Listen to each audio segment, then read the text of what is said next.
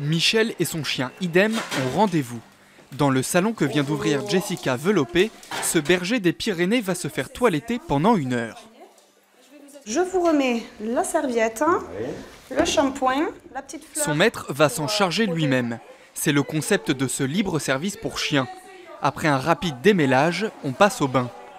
Ici, pour Michel, c'est l'endroit idéal. Imaginez, là, il bouge pas parce qu'il est, il est complètement fermé.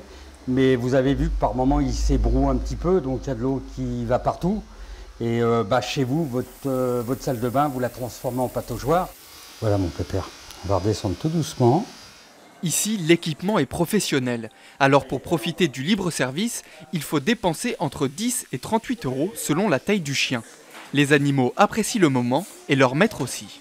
Tous les accessoires se lèvent à hauteur, donc euh, pas mal au dos, euh, pas de ce, ce problème-là. Et puis tous les accessoires sont, sont sur place, hein, euh, brosse, séchoir. euh, là, c'est vraiment le côté pratique. euh. et puis bon, les chiens apparemment n'ont pas peur. Et toi, t'aimes bien prendre soin de Maya? Oui, parce que je suis avec mon père et c'est bien. Pendant des années, Jessica Velopé a pratiqué le toilettage à domicile.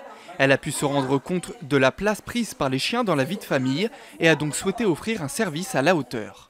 Les gens aiment prendre soin de leurs animaux parce qu'ils font partie intégrante de, la famille, ils vivent dedans. Il y en a qui dorment dans les chambres, sur les lits, qui montent sur les canapés, donc on veut quand même un animal propre. Et si vous ne voulez pas mettre la main à la pâte, Jessica Velopé se propose de bichonner votre compagnon préféré.